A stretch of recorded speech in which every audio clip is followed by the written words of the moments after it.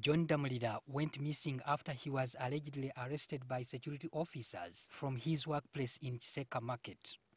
The matter was reported to police. However, the 48 legal hours of detention elapsed and Damulira was not produced to any courts of law by any authority. This prompted relatives to seek a habeas corpus, which was granted by Justice Emmanuel Baguma of the Civil Court Division. The habeas corpus did not yield any results, and the same judge issued an unconditional release order for Damulira. However, attempts by the state attorney and the family lawyers to locate Damulira remained fruitless. As a result, Justice Emmanuel Baguma dismissed the case until the authorities illegally detaining Damulira are identified.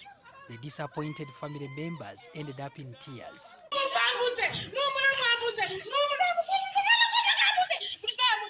Ligirisi gye bayita mu palamenti ate pulezidenti yamusoma nti kwali lwaki tibatuwa omuntu waffe oba batuwa omufu batuwa omufu To the present, the whereabouts of John Damulira are still unknown.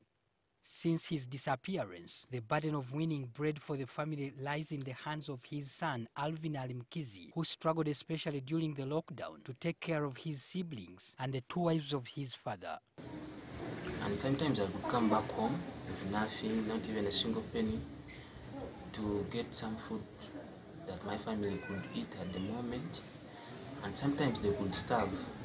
Alimukizi's younger sister has to the present failed to access her recently released PLE results because she owes the school some fees balance. Maybe s6 nabyo bigenda kukomawo n'oli naye aleme kulaba ku bibye aleme nakubifuna Michael semudu is another man who has been missing ever since he was reportedly abducted on 21st November 2020 from Masanafu Trading Center.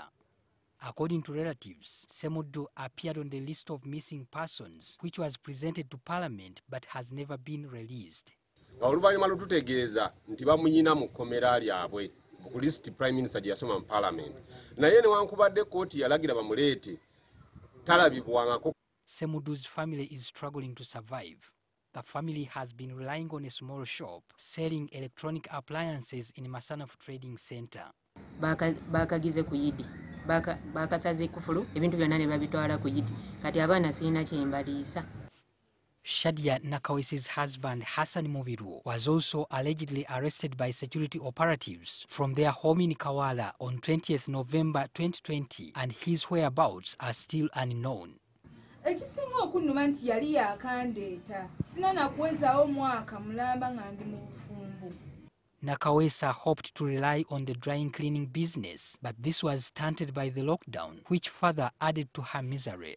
ne kati abantu balekerawo otambula n'olumu kati bayoza n'engoye zaabwe kuba tasobola kufulumya ssente kugireeta ku dry cleaner ng'asobola ate wako ogyeweza Ida Nakiganda, the director in charge of complaints, investigations, and legal services at the Uganda Human Rights Commission, admitted to have received several clients complaining about their missing members. The Commission uh, conducted its uh, investigations, conducted its inquiries, because we would also want to know where exactly he is.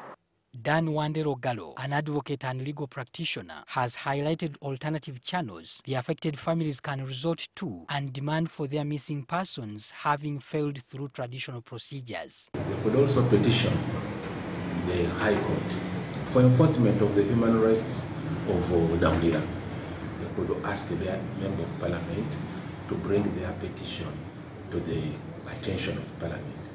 Asked about this, Charles Twine, the police CID spokesperson, says vigorous efforts have been made to search for Damulira, but there is no record of his detention anywhere.